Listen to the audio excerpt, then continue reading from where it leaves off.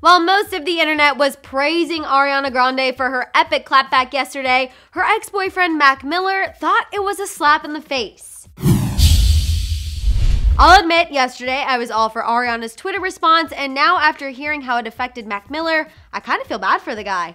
How's it going, guys? I'm Madison Hill. To stay caught up on your fave celebs and their past and present relationships, go ahead and click that subscribe button. All right, in the event you were taking an internet hiatus yesterday, let me catch you up on what you missed. After news broke of Mac Miller's accident and DUI arrest, this guy, Elijah Flint, sent out a tweet that essentially blamed Ariana for Mac Miller's accident. It was so upsetting that Ariana took the time to respond in an explosive clapback. The highlights include that she called her relationship with Mac Miller toxic, that she's no one's babysitter, and that she should not get blamed for a man's quote inability to keep his shit together. Although those words were harsh, Ariana did still say she would continue to pray for Mac to get himself together. However, clearly that message got lost for Mac Miller thanks to a new report from Hollywood Life. We've now learned that he was totally quote hurt and offended that Ariana chose to trash him online. Before I go into more detail about how hurt Mac Miller is over Ariana's words, I want to know, now that they've had time to sink in,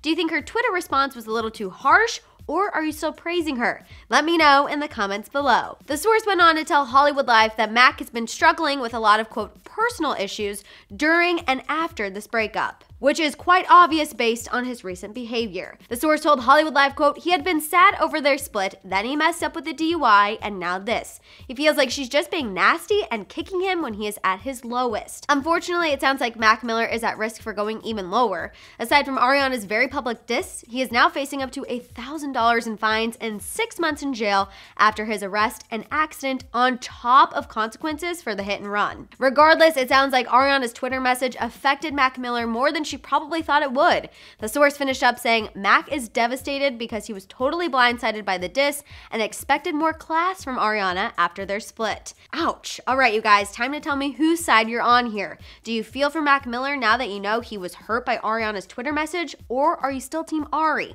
Let me know in the comments below. For more celeb news, click the boxes and subscribe.